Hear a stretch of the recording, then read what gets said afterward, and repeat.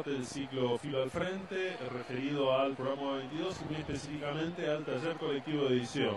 Estamos con Tomás Manuquian, que es graduado de la carrera de edición, forma parte del, taller, y para que nos cuente un poco este, cuál es el origen del taller, cómo se fue desarrollando este, y en qué consiste el taller colectivo de edición. Empezamos en el año 2010 se acercó el profesor Rubén Calmes al, programa y a, Juan Pablo para, proponer hacer un taller de edición. En, sus inicios se llamó así, taller de edición. Con el tiempo lo hemos resignificado, ahora le decimos taller colectivo de edición, marcando en, ese, lo colectivo la, necesidad y la posibilidad que fuimos viendo que se concretaba con el tiempo que un grupo grande se sintiera identificado en torno a los resultados que, el laburo generaba, que son las revistas y las diferentes publicaciones que, fueron apareciendo. Eh, Rubén eh, Calmes, que eh, ex subsecretario de publicaciones de la facultad, ahora jubilado, daba el taller enfocándose en, en una crítica de los medios. Era algo más bien positivo, pero que cerraba el, ciclo con un trabajo práctico que implicaba el, poner en práctica ciertos recursos eh, que, habían visto durante el, año del periodismo, del uso de cómo titular las notas, cómo estructurar una crónica, y así fue que, surgió el primer número, lo que nosotros consideramos el primer número o el número cero de la resistencia, en formato tabloide, nuestro diario se imprimió en la facultad, unos pocos ejemplares. Eh, al, tiempo Rubén eh, dejó de ir por, cuestiones de salud. Yo empecé acompañándolo y junto con Alejandro Smith, eh, en ese entonces los dos éramos estudiantes de la carrera de edición, seguimos coordinando desde afuera el espacio y llevándolo hacia una propuesta mucho más eh, eh, de trabajo, de juntarnos a editar, de reunirnos semanalmente para pensar una publicación eh, y sobre todo por el impulso que había dentro de los pocos estudiantes que habían quedado presentes en el espacio luego de un ataque fuerte que sufrió el, Centro Universitario de Voto de parte del Servicio Penitenciario con la excusa de que se, producían secuestros extorsivos de adentro. Con esa excusa, eh, un espacio que, se llenaba de gente y, que tenía, eh, tenía mucha efervescencia, se, fue, se fue apagando a poquito, se, restringió el ingreso en ese momento a los que no estaban cursando alguna carrera y justamente la finalidad de los talleres eh, que tenemos bien presente es eh, de estos talleres extracurriculares acercar a, toda la población de, presos la existencia de estos espacios. Explica un poco eh, la dinámica de cuál es la diferencia entre la población que cursa carrera en Nuevo 22 y la que no, y, el tema de los talleres y la cursada de materias. Los talleres no, de cursada obligatoria no eh, están por fuera de la diagramación de, las carreras que se, pasan así como se cursan en, en Juan, eh, se cursan en, Devoto, quizás no con la misma oferta, eh, o sea, no, no, la misma cantidad de materias por cuatrimestre que uno encuentra en Devoto, pero la carrera de letras van los titulares de la cátedra y, dan las clases y es algo eh, también se impacta mucho ver porque eh, yo he cursado algunas materias de letras en teórico de 300 personas y, donde solo habla el titular de cátedra y ir a Devoto y, escuchar a, uno de estos popes eh, de la academia dar una clase a siete personas y las siete personas estén retrucándole cosas estén dando, en un sentido eh, importante para sus vidas, para pensarse a ellos mismos, para construir eh, organización, para eh, recuperar esto que la palabra en términos de voz identitaria es algo muy piola y que, un poco nos transforma a nosotros los que vamos afuera y nos, llena de energía para seguir adelante porque vemos eso, en una de las jornadas lo que hicimos Devoto eh, con el foro de educación por el cambio social, eh, impulsado por compañeros de la mesa, eh, dijimos vamos a poner, vamos a, hacer un, un, glosario de todas estas palabras que, que, nos resuenan eh, tanto afuera como adentro, pero que acá se vieron en, las revistas, en los textos de las revistas, aparecen distintos significados. Entonces, redefinimos lo que era la educación para nosotros, y eso fue la educación, que era la resistencia, que era el, la, pena, qué significaba el, el, encierro. Eh, bueno, eso está en una de las revistas de Rosario, la, lo, dual que aparece en la definición de, de educación es, por un lado, eh, eh, forma para hacer eso que la sociedad quiere que, sea, para, para, ser funcional a, a un determinado orden, y, pero por otro te da las herramientas para, para, para cambiarlo. Entonces, eh, el, ir a, y seguir yendo ahora a Ezeiza, eh, seguimos en Devoto y en Ezeiza, tiene que ver con eso, con eh, provocar, un poco eh, generar disparadores y, y, después salir con los ojos bien abiertos de lo que nos encontramos y, intentar procesarlo y materializarlo en, algo que quede, eh, que puede ser el, una revista, pero también un libro, y también algo que nos cuesta un poco abrirnos, pero que, que, que está ahí siempre presente, que son las redes sociales, o sea,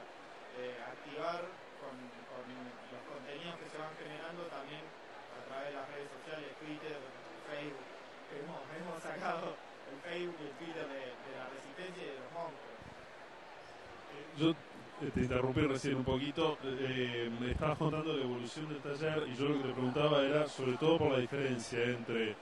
la población que forma parte de 22 y el hecho de que los, en los talleres participa gran parte de, de la población carcelaria, ¿no? Vos dijiste recién una bajada del, estabas hablando de una bajada del servicio penitenciario que lo que hizo fue restringir ese acceso y justamente, digo, para, seguir con lo, que me estabas comentando, cómo, eh, cómo seguía la evolución del taller este, desde esos momentos hasta el día de hoy. Ahí fue el momento en que fue más necesaria la,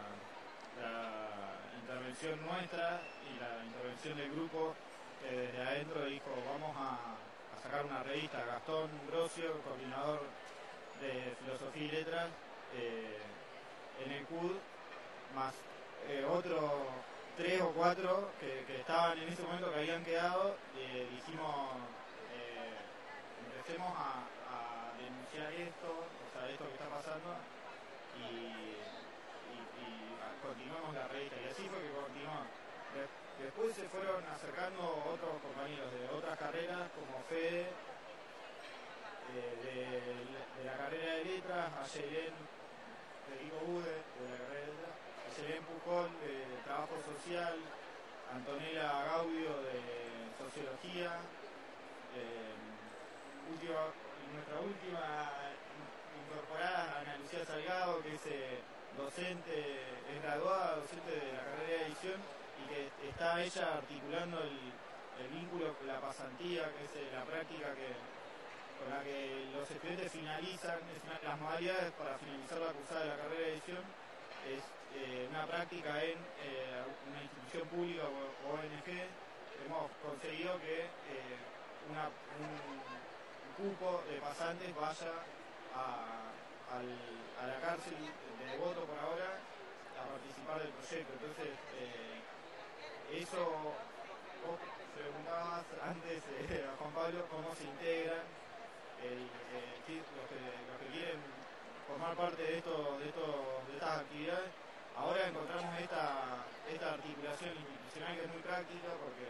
eh, acorde a los tiempos que tenemos del, laburo, siempre estamos todos corriendo y, esto es algo que, que, además logra ir avanzando de a poquito porque es también eh, algo, hay que entender esto, que, nuestra intervención tiene una cantidad de implicancias que no, no, no podemos tomarlo a ligera y no, no podemos dejar de pensar que lo responsable que somos por incluso eh, ir a, a que alguien escriba, sea, sea lo que sea lo que escriba, eso a veces trae consecuencias que nosotros ni siquiera las vemos porque nos vamos, eh, salimos, logramos entrar y salir de la cárcel, pero eh, los autores quedan adentro y eso complica las cosas, entonces eh, tener bien presente eso,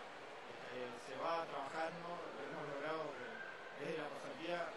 la gente que se entusiasma vas a integrar el grupo, también estuvo Evelyn Heidel, un tiempo acompañándonos de, la carrera de letras y bibliotecnología. Ella hace un, trabajo interesante con la digitalización del material bibliográfico y es un aporte también importante.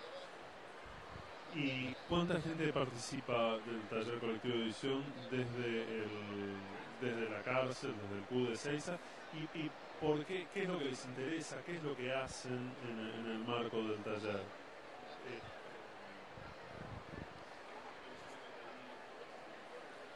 Bueno, Fede va a contar un poco más la dinámica, pero en total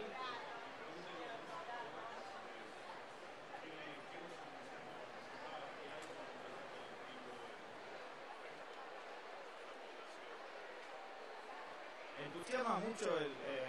escribir y que alguien te lea y tener esa evolución, o sea, encontramos que un saber que bien propio de la, carrera de edición que, tiene que ver con esa, el posicionarse en eh, la relación editor-autor, eh, no solo, no, es que a cualquiera le gustaría, eh, a cualquiera de los que, los que escriben le gustaría encontrar ese primer lector crítico que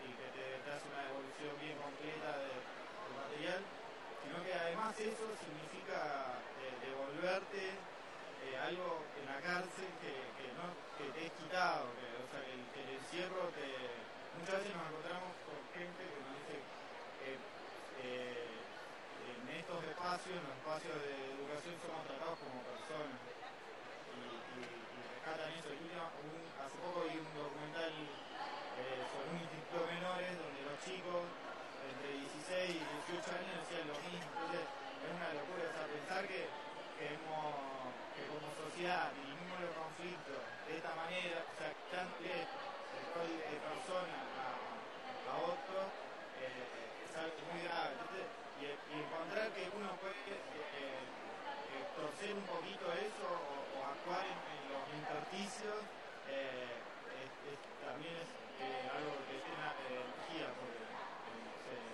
y, y fue justo eso, o sea, fue decir, hagamos una revista nos editamos entre todos. O sea, la práctica esta, que es la de, leerse en conjunto, la de criticar los textos, la de pensarlos dentro de secciones, es, es parte de eso. Por, un lado, darle con, con, la, con, la, revista que ahora vamos a hablar con, con Federico este, eh, en detalle, pero es eh, darle una voz a, la gente que está en, en, Devoto y en Ezeiza. Y pensaba que Gramsci escribió gran parte de sus textos en la cárcel y demás, y es como que es este, que circule la palabra de, quienes están ahí adentro por fuera de la cárcel es un poco de, escapar a las rejas, ¿no? un poco de, como que está ligado, la publicación en algún punto está ligado a la, a la libertad en un punto, ¿no? Este,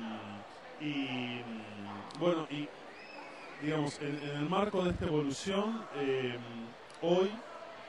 que, eh, digamos, ¿cómo, ¿cómo ves la evolución del taller de edición desde que empezó hasta el día de hoy? Hemos crecimos siempre eh, algo muy palpable que es en, contactos. de entrada las impresiones que hacíamos era con la, fotocopiadora prestada del centro de estudiantes, una resma que nos daban en publicaciones eh, y con eso hacíamos una cantidad muy, muy acotada de ejemplares que alcanzaba para, para que los propios autores se llevaran un, un ejemplar eh, y, a y para repartir entre las personas que asistían al, a- Eso era, y ahí se terminaba el impacto de, de la publicación, pero avanzamos eh, sobre todo en lo digital,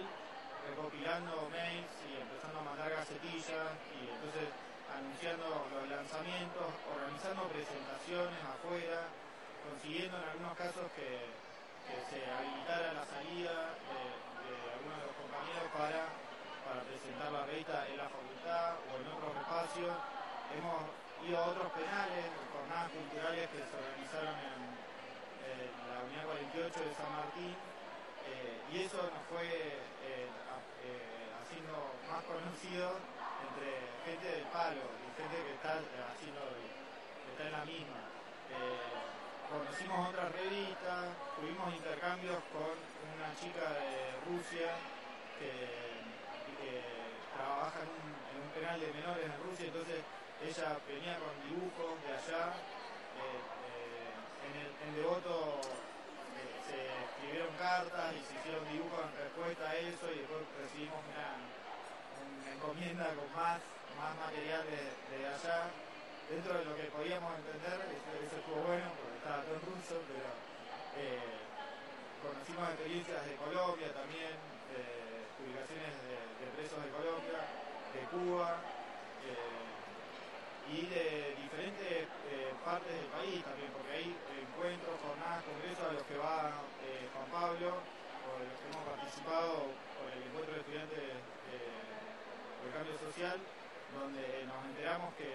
en Santa Fe, en Neuquén, en otras provincias se hace, se, hacen revistas y, hemos a partir de eso también inaugurado una sección que es otras publicaciones para, difundir esa- esas otras experiencias similares que, que se están en.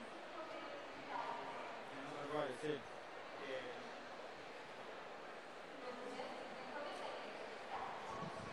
había anotado otro-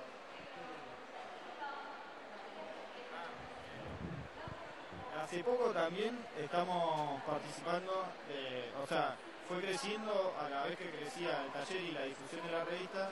que siempre se vio condicionada por la, eh, sobre todo la impresión, por, los recursos, digamos. Eh, si bien hemos accedido cada vez a, mayores eh, líneas de financiamiento, eh, siempre son, son muy acotadas y nos permiten nunca hacer más de 500 ejemplares, que es lo que nos gustaría, o sea, sino 500 ejemplares llegando a determinados lugares por correo, o sea, pudiendo enviar por correo a esta gente que fuimos conociendo de las diferentes provincias, poder enviar una carta con, la revista a esta gente de Rusia, a, las experiencias de, diferentes de Latinoamérica,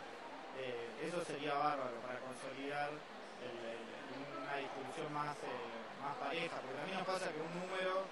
eh, se distribuye mucho más que otro, porque en ese momento había más plata para hacerlo y eso me, medio que nos tira para abajo. Y además que el crecimiento hace, nos, nos incrementa también el sentido de responsabilidad, de si lo que se está publicando son eh, eh, cosas que son denuncias, sobre todo si, si, si, hay una denuncia y nosotros sabemos que, eh, lo que puede venir atrás de una represalia, mientras más presencia tiene la publicación afuera, más se, se, puede pelear desde la universidad, desde la difusión que podemos dar a esos intentos de, de avasallar con, lo que se consiguió, con, lo que se consiguió en principio, que es por lo menos decir qué es lo que está pasando, y que no quede ahí, que no quede en, una revista que se imprime en 100 ejemplares, entonces el desafío es cada vez mayor, cada vez llegar a más gente. Y hemos eh, participado últimamente también de las reuniones del programa, de esto, este espacio que coordina Juan Pablo, que reúne a mucha gente que está laburando de diferentes lugares en, la cárcel, pero que, parten de filo. eh, y eso también nos da otra otra perspectiva, porque, porque son es- vienen a ser eh, compañeros editores también, que, que pueden estar al tanto, que nosotros trata- tratamos de mantenerlos al tanto de lo que se publica y, pueden ir aportando sugerencias y, eh, contribuir un poco más al debate, porque también es una discusión ver cómo llegamos a, los plazos que nos, que nos ponemos con, qué textos, con, qué enfoque y qué sé yo. Es, parte de lo que se discute eh, en los encuentros, pero también es algo que, que decidimos ampliarlo en, estas voces que, desde la facultad nos pueden aportar eso, mayor, no quedarnos solos en la tarea de, publicar esto, que entendemos que es necesario. Y bueno, ah, bueno, conocimos en el programa, esto lo tiro así como un dato curioso, eh, no curioso, eso fue algo muy importante. Eh, uno de los chicos dijo, ¿qué podemos hacer con los ciegos, con, la gente con, discapacidad eh, que, quiere estudiar? Eh, en las cárceles es muy eh, desarrollado el tema del braille, como se dice que primero se hace el taller de braille y después se construye la cárcel alrededor. Eso lo dice Carfó, Pancho Carfó. Pero entonces estaba esa preocupación, ¿qué hacemos con, qué, podemos hacer nosotros que, estamos acá en el curso, una, una, inquietud de uno de los compañeros y, y, justo en esta reunión del programa participaba gente del programa de capacidad de la facultad, que no sé si en ese momento tenían intervención en cárceles, pero a partir de que llevamos esta, esta inquietud de que hay gente dispuesta a, ayudar, a dar una mano con esto. Eh, Verónica Rubio y Marina Heredia fueron y dieron una capacitación para, para corregir los PDF y hacer eh, accesibles los materiales a los lectores que es un lector que con una voz sintética te va leyendo el, material y lo que usan las, personas con discapacidad visual para, para, poder leer ahora. Y, entonces se instrumentó eso, eh, desde una inquietud y desde el haber podido articular y haber estado en contacto entre nosotros, todos los que vamos para, eh, para trabajar, sí, fue, se vio que, que se armó un taller específico de eso se consiguieron máquinas se, y fue muy, muy lindo ver eh, en esa reunión que fue una de las chicas de la facultad que estaba estudiando historia que necesitaba los materiales, que no estaba con muchas limitaciones por no poder eh, acceder a eso. Y, ella muy emocionada porque, encontró, se encontró con, con pares estudiantes solidarios eh,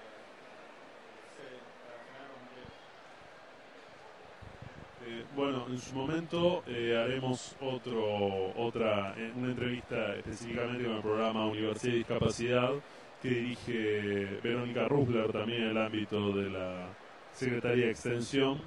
que este, respecto de lo que hablabas recién, el proyecto que el OneX que se desarrolló en el marco de Tiflo Libros, que es uno de los proyectos que se desarrollan en términos de universidad y discapacidad, efectivamente para este, mm, eh, ¿cómo se llama esto? Eh, disponer los libros en el formato tal para que sean leídos automáticamente por este, sistemas eh, de programación para, para no videntes. ¿no? Este, bueno, muchas gracias, Tomás.